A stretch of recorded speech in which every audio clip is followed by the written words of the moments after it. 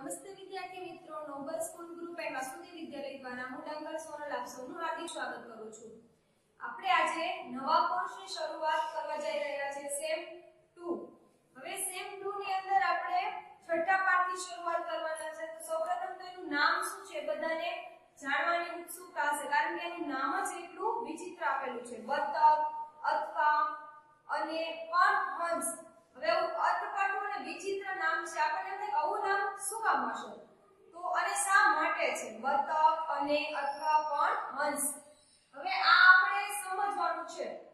બતક અને હંસ બતક અથવા હંસ બતક પણ હંસ હવે આ વચ્ચે અને અથવા પણ એ શું છે તો કે આને સંયોજક કહેવાય છે કોઈ પણ સંયોજક એટલે શું તો કે કોઈ વાક્ય અથવા તો બે શબ્દને જોડવાનું કામ કરે છે એને કહેવાય સંયોજક હવે અહીંયા આપણને બે શબ્દ આપેલા છે બતક હંસ તો હવે આ બેને જોડવું હોય તો ખાલી બતક હંસ એવું વાક્ય વ્યવસ્થિત શબ્દ બનતો નથી તો કે બતક અને હંસ આ બંનેને જોડવાનું કામ કોણ કરે છે તો કે આ અને જે સંયોજક છે ને એ બતક અને હંસ, બતક અથવા હંસ.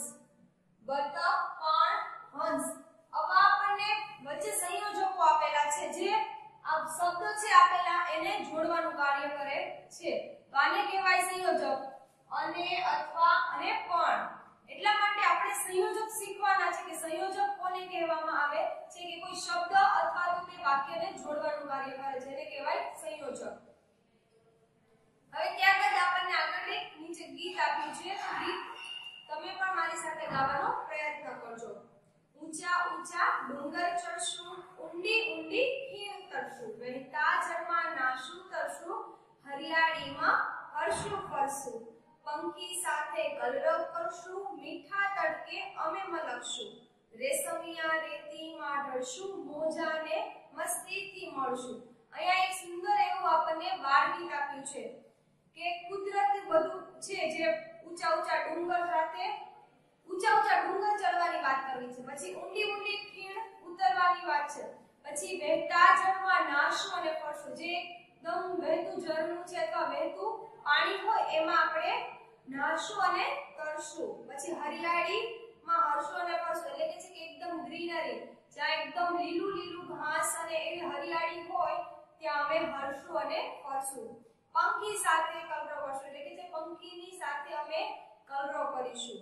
તો અહીંયા એક સુંદર એવું આપણને અહીંયા બાળ આપ્યું છે, જેને તમે પણ ઘરે ગાવાનો પ્રયત્ન કરજો. હવે ત્યારબાદ આપણને અહીંયા એક ચિત્ર આપેલું છે. તમારી બુકમાં પણ તમે ધ્યાન દઈને જોજો અને યાદ કરો કે તમે આવું ચિત્ર ક્યાં જોયેલું છે. આ ચિત્ર સાનું છે, કહો. તમે તેને ઓળખો છો? આ ચિત્ર વિશેની વાર્તા તમને ખબર છે? હવે એક ચિત્ર આપેલું છે. તમે ચિત્રને ક્યાં જોયું છે? અથવા ચિત્રની વાર્તા છે તમે ક્યારે સાંભળી છે? તો કે આ બુકમાં આપણને ક્યાંક તો આપણે જોયેલું છે ચિત્ર.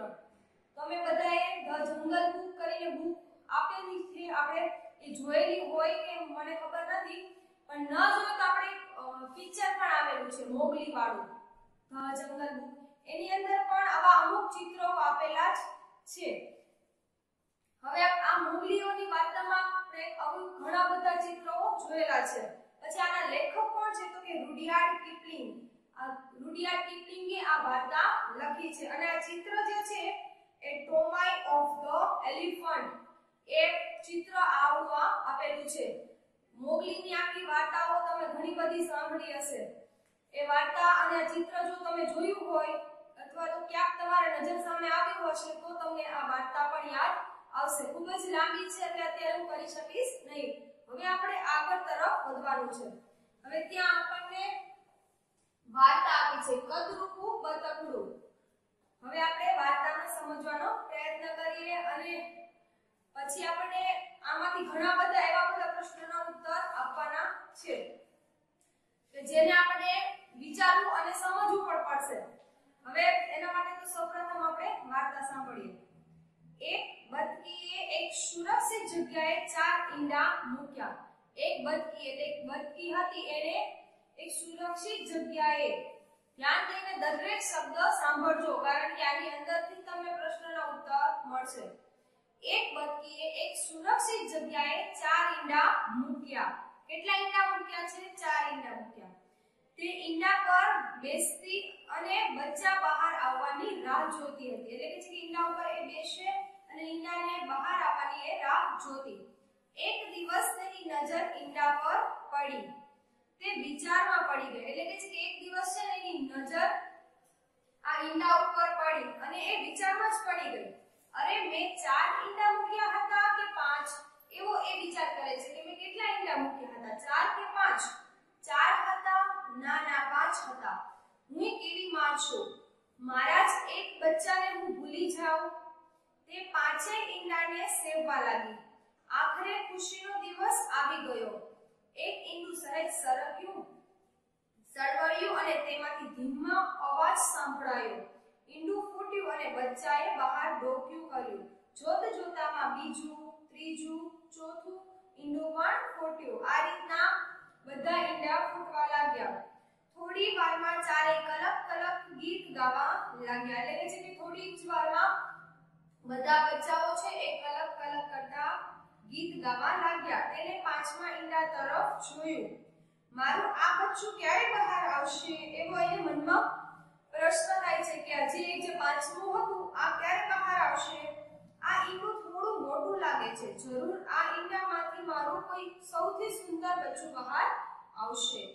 એક દિવસ પછી એ ઈંડું પણ સળવળ્યું અંદરથી ધીમો અવાજ સંભળાયો અને ઈંડું ફૂટ્યું. તેમાંથી એક બચ્ચું બહાર નીકળ્યું. બદકીએ જેવું બચ્ચાને જોયું કે તેનું, તેને થયું, અરે, આ બચ્ચું તો થોડું મોટું લાગે છે. એટલે કે છે કે આ બચ્ચું હવે એની અંદરથી બહાર આવ્યું. પણ આ બચ્ચું ઓલા બધા જે બચ્ચા હતા, ચાર, એના કરતા શું હતું? થોડું મોટું એવું હતું. થોડું રાખોડી પણ હતું. એટલે કે છે કે ઓલા બધા બતક કરતા આનો દેખાવ પણ થોડો જુદો હતો અને રાખોડી રંગનું હતું. આમ કેમ થયું હશે?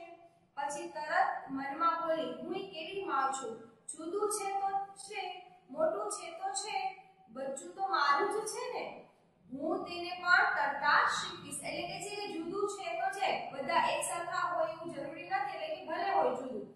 છે તો મારું જ ને એવું વિચારી અને પોતે કહે છે કે હું આને પણ તરતા જ શીખીશ. થોડા દિવસ પછી બતકીએ તેને પણ બીજા બચ્ચા સાથે તરવા લઈ ગઈ.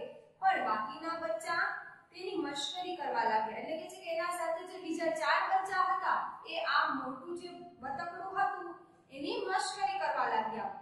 કોઈએ તેને ધક્કો માર્યો તો કોઈએ તેને ઉપર ગંદુ પાણી ફેંક્યું. હવે કોઈ પાણીમાં એને ધક્કો મારે છે તો કોઈ એના ઉપર ગંદુ પાણી ફેંકે છે. બધા કહેવા લાગ્યા, અરે, આવું બતક હોય આ તો કદરૂપું બતકડું છે. પછી તો બધાએ તેનું નામ કદરૂપું બતકડું પાડ્યું. જે આપણા આ વાર્તાનું નામ છે, કદરૂપું બતકડું એટલે કે છે કે આ બધા કરતા સૌ જુદું હતું.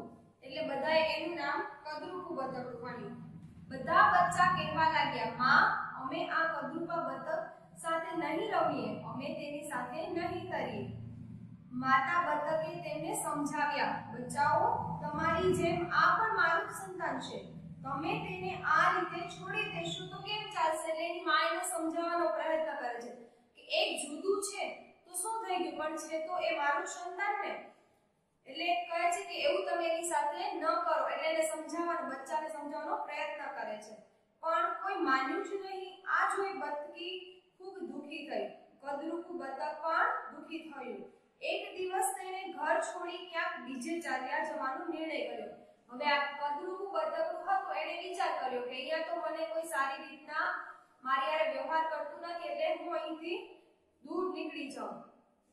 એક સરોવરેથી બીજા સરોવર અને બીજા સરોવરથી ત્રીજા સરોવર. ત્યાં તેણે મરઘીનું ટોળું જોયું. એટલે કે છે કે પોતે એક સરોવરથી બીજા સરોવર અને બીજા સરોવરથી ત્રીજા સરોવર નીકળ્યું. ત્યાં તેણે એક મરઘીનું ટોળું જોયું. તેણે કહ્યું, કેમ છો બધા? વૃદ્ધ મરઘી બોલી, તું કોણ? બતક બોલ્યું હું બતકડું. જુવાન મરઘો બોલ્યો, તું કોણ? બતક કહે, હું બતકડું. એકે કહ્યું, હે તું બતકડું? તું બતકડું? એવા બધા એને પ્રશ્ન કરવા લાગ્યા. પણ તું તો કેવું કદરૂપું છે? તું તો સાવ વિચિત્ર છે. તું તો સાવ બદસુરત છે. ચાલ ભાગ અહીંથી, અહીં કોઈ તારા દોસ્તાર નથી. એટલે કે છે કે મરઘીના પરિવારે પણ તેને અપનાવ્યું નહીં. બતકડું દુખી થઈ ગયું અને ત્યાંથી તે ચાલી નીકળ્યું. પછી તે ત્યાં જ્યાં જાય, ત્યાં તેને જેને જેને કહે કે હું બતકડું છું, તે બધાએ તેને મશ્કરી કરવા લાગ્યા. હે બતક આવું કોઈ? તું કેવું સાવ કદરૂપું બતકડું છે? એવું કહ્યું. બતકડું સાવ નિરાશ થઈ ગયું. એટલે કે છે કે જ્યાં જાય ત્યાં બધા તેની મશ્કરી કરે અને તેની સાથે એને રહેવાની ના પાડે. એટલે કે છે કે આ બતકડું છે એ હવે સાવ નિરાશ થઈ ગયું. પછી તે જંગલ પરથી ઉડ્યું અને ખેતર પરથી ઉડ્યું. અચાનક વાવાઝોડું શરૂ થઈ ગયું. એટલે કે છે કે જંગલ પરથી ઉડી ગયું અને ખેતર પરથી પણ ઉડી ગયું. અચાનક વાવાઝોડું શરૂ થઈ ગયું. બતક સલામત સ્થળે આશરો શોધતું હતું. એટલે કે જે સુરક્ષિત જગ્યાએ એ પોતાનો આશરો શોધતું હતું. ત્યાં તેની નજર એક ઝૂંપડી ઉપર પડી. તેણે ત્યાં રોકાવાનો વિચાર કર્યો. ઝૂંપડીનો દરવાજો ખખડાવ્યો. અંદરથી એક ડોશીમાં બહાર આવ્યા. એટલે કે છે કે જે પોતે સલામત સ્થળે, જ્યાં ઝૂંપડી પાસે બતકડું રોકાયું, ત્યાં એક ડોશીમાં બહાર આવ્યા. બતકડે કહ્યું, દાદી, હું તમારે ત્યાં મદદ કરીશ એટલે કે છે કે હું તમારી સાથે રહું, હું તમને મદદ કરીશ, એવું બતકડું ડોશીમાને કહે છે. તો ડોશીમાએ કહ્યું, તું મને શી મદદ કરી શકે? પણ હા, આ વાવાઝોડું શાંત થાય ત્યાં સુધી તું અહીં રહી શકે. એટલે કે છે કે તું બતકડું છે, તું મને શું મદદ કરી શકે? એક કામ કર, જ્યાં સુધી આ વાવાઝોડું શાંત ના થાય, ત્યાં સુધી તું અહીં રહી શકે છે. બે, ત્રણ દિવસ પછી વાવાઝોડું શાંત થયું. બતકે ફરીથી ઉડવાનું શરૂ કર્યું અને પહોંચ્યું એક સુંદર સરોવર પાસે. એટલે કે છે કે બે, ચાર દિવસ પછી જ્યારે વાવાઝોડું એકદમ શાંત પડી ગયું, પછી તે ત્યાંથી ઉડી અને એક સુંદર સરોવર તરફ આવ્યું. ત્યાં કેટલાક હંસ પરિવારો રહેતા હતા. તેને થયું, અહીં મને કદાચ મારા નવા દોસ્તો મળશે. એટલે કે પોતે વિચાર કરે છે કે અહીં કદાચ મને હવે મારા નવા દોસ્ત અમારા નવા મિત્ર મને અહીં મળશે. તે બીજા બચ્ચાઓ પાસે પહોંચી ગયું. વૃદ્ધ હંસે કહ્યું, અરે, તું ભૂલું પડી ગયેલું છે? આવ હવે આપણે સાથે રહીશું. એટલે કે છે કે વૃદ્ધ હંસ છે, એ કહે છે કે, તું ભૂલું પડી ગયું છે? ચાલ હવે આપણે અહીંયા સાથે રહીશું. ના ના હું તમારી સાથે નહીં રહું. એટલે કે છે કે બતકો એકદમ ના પાડી દે છે કે ના ના હું તમારી સાથે નહીં રહું. હું તો બતકડું છું. એક કદરૂપું બતકડું. અહીંથી થોડા સરોવર દૂર મારો પરિવાર રહે છે. એટલે કે છે કે હું એક કદરૂપું બતકડું છું. હું તમારી સાથે નહીં રહું. અને મારો પરિવાર ક્યાં ક્યાં રહે છે તો કે અહીંથી દૂર એક સરોવર છે, ત્યાં મારો પરિવાર રહે છે. હું તમારી સાથે કેમ રહું? એટલે એવો મનમાં પ્રશ્ન એને થાય છે હું તમારા લોકો સાથે કેવી રીતના રહીશ? એના પરિવાર વાળાએ છે ને પોતાના પરિવારનું માન્યું નહીં તો કે તમે લોકો પણ નહીં માનો. એમ વિચારી અને પોતે ના પાડે છે કે હું તમારી સાથે નહીં રહું. જુવાન હંસે કહ્યું, તું અહીં રહે પણ કોઈને હેરાન કરવાના નહીં. એટલે કે છે કે તું અહીં રહે, પણ તારે કોઈને હેરાન કરવાના નહીં. બસ અમારી જેમ જ રહેવાનું. હવે આ બતક હંસોની સાથે રહેવા લાગ્યો. એટલે કે છે કે એક મોટા એને કહ્યું કે તું અમારી સાથે રહે, પણ તારે કોઈને હેરાન કરવાના નથી. તો અમે તને અમારી સાથે રહેવા દઈએ. પછી જે બતકું હતું એ એના પરિવાર સાથે, મતલબ હંસના પરિવાર સાથે રહેવા લાગ્યું. થોડા સમય પછી એક દિવસે તે સરોવર કાંઠે બેઠી પાખો ફફડાવતું હતું. એટલે કે છે કે એ થોડા સમય પછી એ સરોવરના કાંઠે બેસી અને પાખું ફફડાવતું હતું. ત્યાં એક હંસ કન્યા આવી. તેને કહ્યું, તું ખૂબ સુંદર છે. એટલે કે છે કે હંસ કન્યા ત્યાં આવી અને આ બતકડું જે હતું એને શું કીધું કે, તું ખૂબ જ સુંદર છે. તું મારો મિત્ર બનીશ. અને એને કહે છે કે, શું તું મારો મિત્ર બનીશ? બતકનું બોલ્યું, તું મારી મજાક કરે છે? કારણ કે એને અત્યાર સુધી બધાએ કેવું કીધું તું કદરૂપું બતક. એટલે કે છે કે, તું મારી મજાક કરે છે, બધા મને કદરૂપ કરે છે. અને તું એમ કહે છે કે, હું બહુ સુંદર છું. એટલે કે છે કે તું મારી મજાક કરે છે? બધા મને કદરૂપ કહે અને તને પોતાની જાત પર શરમ આવી. એટલે કે છે કે હવે એને પોતાની જાત ઉપર શરમ આવી, કારણ કે એને મજાક કરી હોય એવું એને લાગ્યું. શરમ આવી અને તેણે માથું નીચે કરી લીધું. હંસ કન્યાએ કહ્યું, તું પાણીમાં તારું પ્રતિબિંબ ધ્યાનથી જુએ. એટલે કે છે કે હંસ કન્યાએ તેને કીધું કે તું છે ને તારું પ્રતિબિંબ પ્રતિબિંબ એટલે આપણી જે અરીસામાં કેમ આપણે ઊભા હોય એટલે આપણી જ આપણે પડછાઈ દેખાય? એવી જ રીતના પ્રતિબિંબ પાણીમાં દેખાય? હવે કે છે કે પડછાઈ તું પાણીમાં તારું પ્રતિબિંબ ધ્યાનથી જો. એટલે કે છે કે પાણીની અંદર તારું પ્રતિબિંબ દેખાય છે એટલે તું ધ્યાનથી જો. તને ખબર પડશે કે આપણે બંને સરખા છીએ. એટલે કે છે કે તું ધ્યાનથી જો આ તારું પ્રતિબિંબ. ત્યારે તને ખબર પડશે કે આપણે બંને સરખા જ છીએ. તેની નજર પાણીમાં પડી અને તેણે પોતાનું પ્રતિબિંબ ફરીથી જોયું. તે ખરેખર ખૂબ જ સુંદર હતું. એટલે કે જે તેણે વારે ઘડીએ પોતાનું જે ચહેરો છે એ પાણીમાં જોયો. એટલે પછી એને ખબર પડી કે પોતે તો એક હંસ છે. તે ખરેખર ખૂબ જ સુંદર હતું. પણ તે બતક જેવું તો નહોતું લાગતું અને પછી તે બતક જેવું તો લાગતું ન હતું. એક રાજહંસ હતો શું હતું જે આ હંસ કન્યા હતી? રાજહંસ કન્યા એવી જ રીતના આ એક રાજહંસ હતો એક સુંદર અને યુવાન રાજહંસ. હવે તેને સમજાયું. તેને બધા કદરૂપુ બતક કેમ કહેતા હતા? એટલે હવે એને સમજાયું આને બધા કદરૂપુ બતક કેમ કહેતા હતા? કારણ કે એ બતક હતું જ નહીં. એ તો હતો એક રાજહંસ. તેણે હંસ કન્યાનો આભાર માન્યો અને તેની સાથે આકાશમાં ઊંચે ઊંચે ઉડી ગયો. એટલે કે છે કે હવે જે હંસ કન્યા આવી હતી, એને એનો ખૂબ જ આભાર માન્યો. કારણ કે એને એના સાચું પોતે શું છે? એક હંસ છે. રાજહંસ છે એની એને ઓળખાણ કરાવી અને પોતે શું છે? અને પોતાની જાત સાથે એને ઓળખાણ કરાવી અને પછી બંને એક સાથે આકાશમાં ઉડી ગયા. કેવી સુંદર એક વાર્તા હતી કે જ્યાં એક હંસ હંસ કન્યા હતી, એ બતકડાને પોતાની સાચી ઓળખાણ કઢાવે છે કે પોતે શું હતો? એક રાજહંસ હતો. સાચા મિત્રની આ જ એક ખૂબી હોય છે કે હંમેશા એ આપણી સારી બાબતો જ આપણને દેખાડતા હોય છે. એના માટે ક્યારેક આપણે એની સામે અણગમો વ્યવહાર કરીએ છીએ. પણ જે સાચા મિત્ર હોય, એ આખરે આપણને મદદ જ કરતા હોય. છે. હવે આપણે આગળ વાતચીત કરવાની છે. જો આ કદરૂપું બતકડું તમારી પાસે આવ્યું હો તો તમે શું કરતા હો હવે આવું આ રાજ જો મતલબ કદરૂપું બતકડું છે એ તમારી પાસે આવ્યું હોત તો? તો કે અમે એને અમારી સાથે રાખત અને એની મશ્કરી પણ કરત નહીં. આપણી સાથે એ આવ્યું હોત, આપણી પાસે મદદ માટે આવ્યું હોત, તો આપણે શું કરત? એની મદદ કરત ને? એની મશ્કરી કરત નહીં. એવી જ રીતના આપણી પાસે કોઈ આપણા કોઈ એવા માણસ આવે છે કે જે કાળું છે બહુ જાડું છે, તો એની મશ્કરી કરવાની નહીં, પણ આપણે શું કરવાનું? એની મદદ કરવાની, એની સાથે રહેવાનું. અને બીજા જે મિત્ર આપણા છે, એને પણ કહેવાનું કે એની સાથે સારો વ્યવહાર કરે. કારણ કે કોઈ કાળા, કોઈ જાડા, એ પોતે જાતે નથી હોતા, પણ એ તો ઈશ્વરની દેન છે, જેવા એ ઉપરવાળાએ બનાવ્યા છે, એવા છે. એના લીધે આપણે એને શરમજનક વસ્તુ એ કરવાની નહીં, પણ એને શું કરવાનું? મદદ કરવાની છે.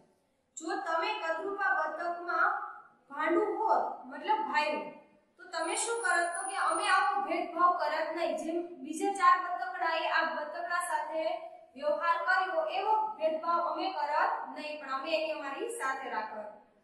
તમને આ વાર્તામાં શું ગમ્યું અને શું ન ગમ્યું? તો કે અમને જે રાજ હંસ કન્યા હતી, એને જે બતકડાને સાચું પોતે શું છે એ રૂપ બતાવ્યું એ અમને ખૂબ જ ગમ્યું. અને શું ન ગમ્યું? તો કે આ જે મિત્ર, એના ચાર ભાઈઓ હતા બતકડાના, એનો વ્યવહાર આપણને ન ગમ્યો. જો કોઈ ભૂલું પડી જાય અને ત્યાં, તમારે ત્યાં આવી ચડે તો તમે શું કરશો? તો કે કોઈ અજાણ્યું કોઈ તમારી પાસે આવે, ભૂલું પડી ગયું છે, તમારી પાસે મદદ માટે આવે તો આપણે શું કરવાનું? આપણે એને રસ્તો બતાવવાનો છે, એને મદદ કરવાની છે, પણ એને મશ્કરી અને મજાક કરવાની નથી. તમે કોની સાથે રમવાનું પસંદ કરશો? તો કે આપણા મિત્ર સાથે, ભાઈબંધ સાથે, બધા સાથે આપણે સારો વ્યવહાર કરી અને એની સાથે રમવાનું પસંદ કરીશું. અને કોઈ સાથે ભેદભાવ કરવાનો નથી. પછી છે, તમે કોની સાથે રમવાનું પસંદ નહીં કરો? તમે વિચારો કે તમે કેવા સાથે રમવાનું પસંદ નહીં કરો? તો કે એવા જે બીજાની મશ્કરી કરે છે, બીજાને હેરાન કરે છે એવા વ્યક્તિ સાથે આપણે રમવાનું પસંદ કરવાનું નથી. આ વાર્તામાં તમને સૌથી વધારે કોણ ગમ્યું અને કેમ? તો કે આ વાર્તામાં અમને સૌથી વધારે હંસ કન્યા ગમી. કારણ કે એ સાચા મિત્રની જેમ આ રાજહંસ જે હતો એને મદદ કરે છે. એટલે અમને હંસ કન્યા સૌથી વધુ ગમી. આ વાર્તામાં તમને કોણ ન ગમ્યું? તો કે આ વાર્તાની અંદર આપણને બતકના બીજા જે ચાર ભાઈઓ હતા એ આપણને ન ગમ્યા. ધારો કે તમે કદરૂ બતકડું છો, તમારી માતાને ફોન કરો અને તમારી સાથે શું બન્યું તેની વાત કરો. કે તમારે વિચારવાનું છે કે એ કદરૂ બતકડું જે હતું, એની જગ્યાએ તમે હોય અને તમારી સાથે આવું બન્યું હોય, તો તમે તમારી માતા સાથે કેવી રીતના વાતચીત કરો એ તમારે વિચારવાનું છે. પછી હવે તમારે કોઈ નવો કે નવી કોઈ મિત્ર બને અને પહેલી વાર તમારે કઈ રીતે વાત થઈ એની તમારે વાતચીત કરવાની છે. તો તમારે કોઈ પહેલી વખત કોઈ તમારી મિત્ર બની હોય અથવા મિત્ર બન્યો હોય તેની સાથે જે ઘટના બની હોય એની વાતચીત તમારે અહીં કરવાની છે. તો અહીંયા આપણે એક સુંદર એવી વાર્તા સાંભળી આના આધારે આપણને શું બોધ મળે છે સમજવાનો પ્રયત્ન કરવાનો કે સાચા મિત્રની જેમ આપણે બીજાને મદદ કરવાની છે. કોઈ પણ સાથે ભેદભાવ કરવાનો નથી.